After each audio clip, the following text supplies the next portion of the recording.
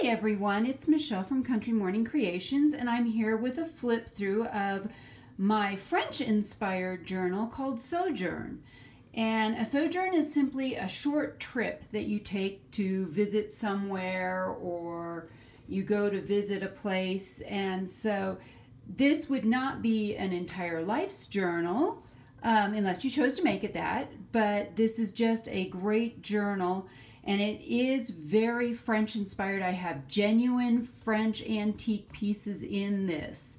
Um, I started out and I bought actually both of these pieces. No, I got this piece of fabric at Walmart and it comes white and black. And this was actually some scrap that I got from Hobby Lobby. And I coffee dyed both of these. And so you can see this is fabric covered. I left the fabric a little bit wrinkly to give it more of that old antique look. Uh, there's fabric, there's lace. I put a pin with an Eiffel Tower-ish kind of dangle on it. This is Tim Holtz. And then this is just really cool. I coffee dyed some things like uh, index cards. And this is actually how it turned out on the index card. So I put it there and Although I'm calling this Sojourn, whoever gets it can put their name or, or whatever they would like there, or just leave it blank. So let me explain a little bit about what this journal is about.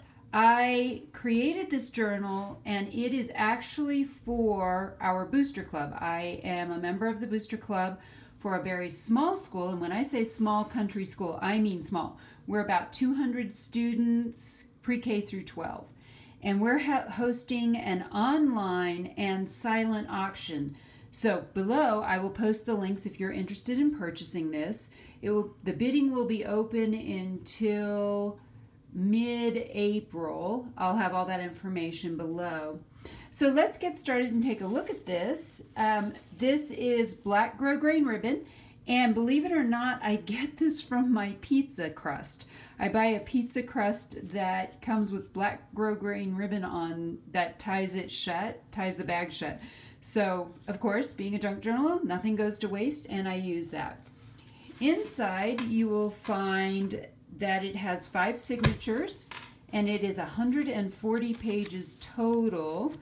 I have put uh, Tim Holtz paper in the front and the back. This was already so chunky, I chose not to put any um, pockets on the front or the back, and you'll see what I mean by chunky here in a minute. I also coffee dyed a lot of paper from a particular paper pad.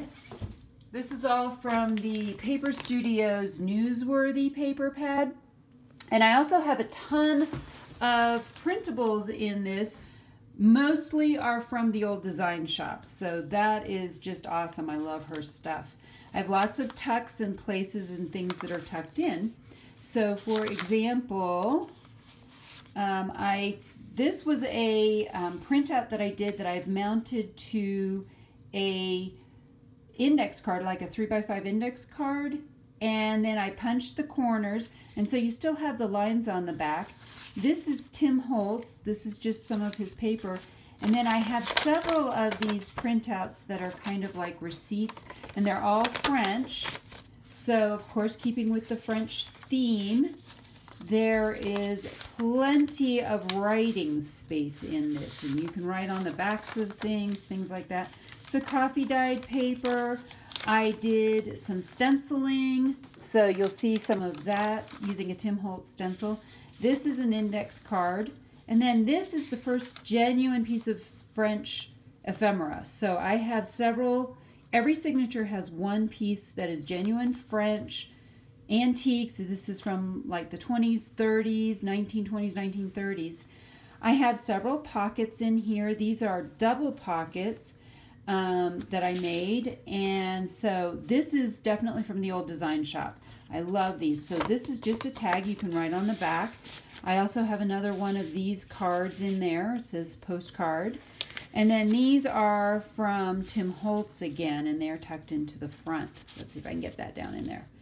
Um, I also had some French stamps, and so I stamped on paper and glued them to different pieces in here. So you will see lots of that. Um, And then again, here's that French ephemera and the index card. Here's some more that I um, put in here. Another card. This is just a journaling card. This is a tag that I made. And this is, again, it's a check that is French. And so everything is very French in here. I did a little bit of sewing, but not a lot.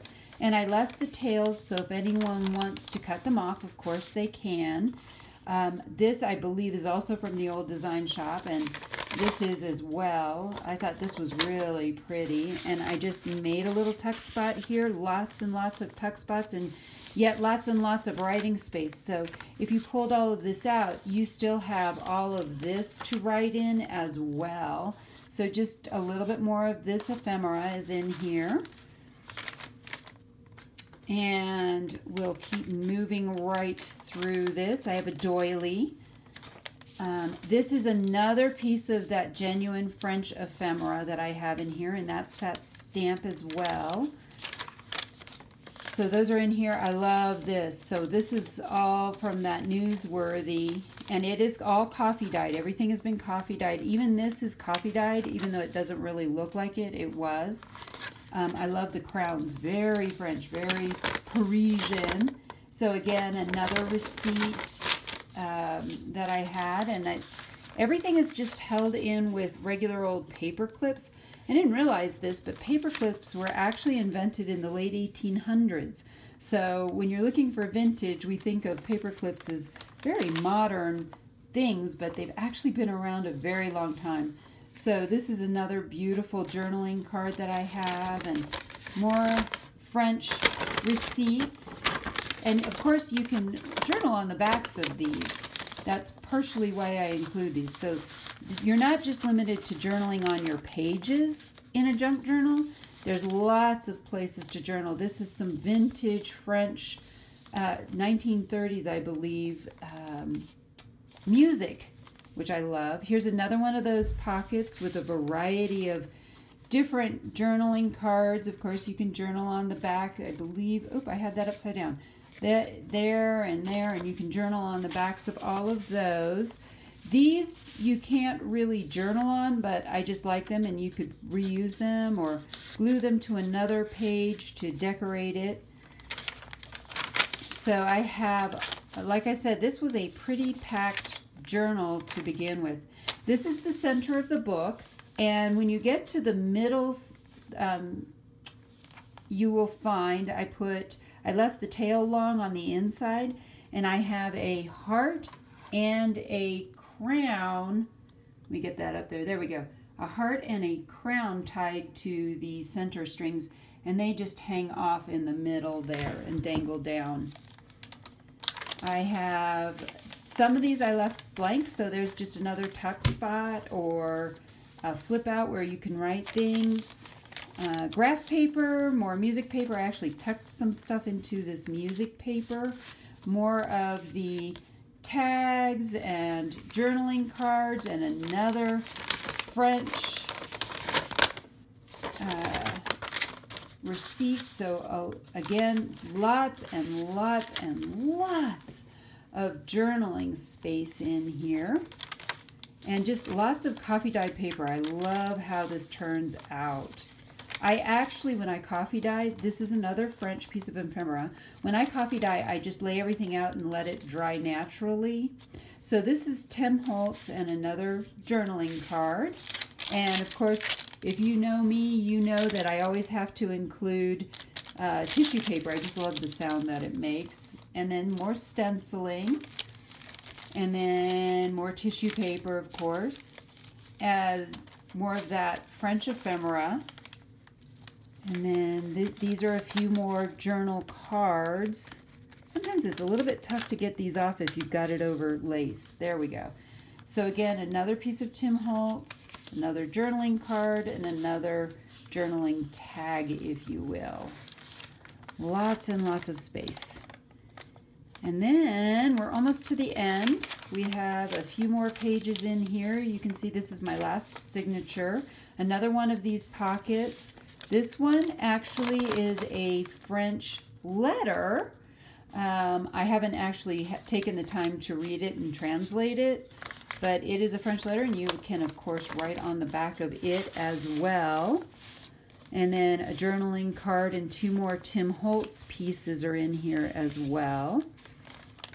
I love the crown, and this was a, a stamp set, a Prima stamp set that I got. So I stamped it and then cut around it, and I used a, a hole punch to actually cut those rounded corners. It worked out beautifully. Um, I just have some regular paper in here, um, more of these receipts. So Tim Holtz, another crown card, and another receipt is in here. Like I said, I really stuffed this full. More of that French ephemera. And so you will see that all the way throughout. Uh, I love this Eiffel Tower. And this is that stamp that I have. More of the stenciling. More of, again, these are just tucked in here so you can write on this page, pull this out. Another, this is the crown card, so another crown card, another tag, and the last of the, I think this is the last, I may have one more of these um, receipts. And again, I got all of this from the old design shop. Much of this is free on her website. I did also go and grab a, a, a kit from her from her Etsy shop. She has both an Etsy shop and a, a, blog. So I will post a link for the old design shop down below. If you are interested in purchasing this, I also have the link below to our online bidding site, and you can take a look over there if you would like to go ahead and purchase this. But in the end, I hope I've encouraged you to be creative today and to maybe get out and craft. Bye.